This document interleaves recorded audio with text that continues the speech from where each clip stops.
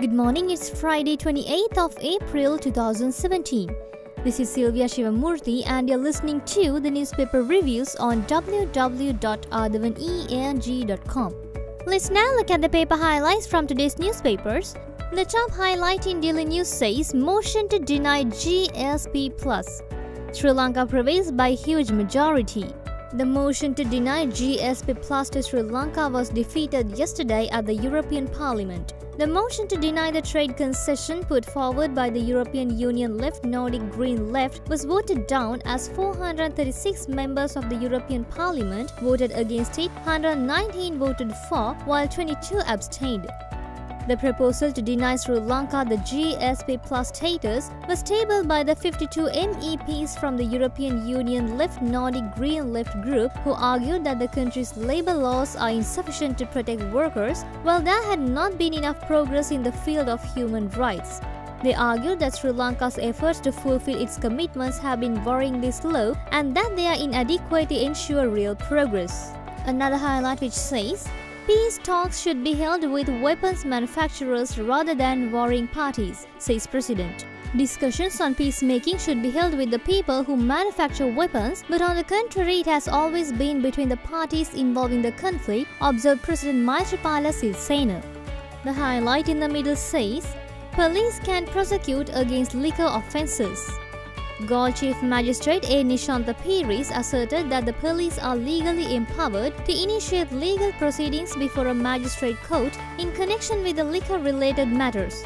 The magistrate made the affirmation yesterday when he delivered an order regarding objections challenging the legal empowerment of the police to prosecute offenders of liquor-related violations. Let's now look at the paper highlights in Daily Mirror. The top highlight says Sri Lanka wins GSP plus vote.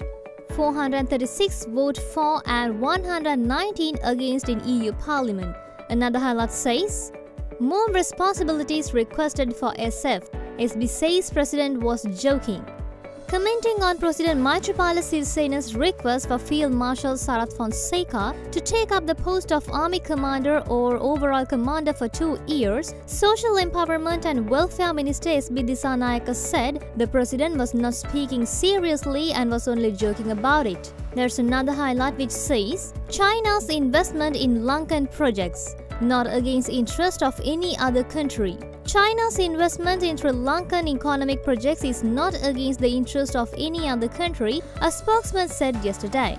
And now let's move to the paper highlights in Ceylon today. The top highlight says EU crushes opposition to Lanka's GSP. Another highlight says Bollywood actor Vinod Khanna dies of cancer.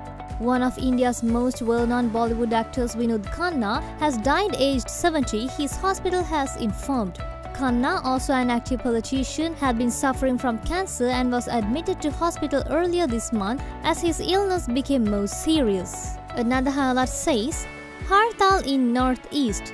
Public transport comes to a halt. The transport services in the northeast came to a halt yesterday due to a hartal in protest over the government's failure to furnish details on those who disappeared after the war.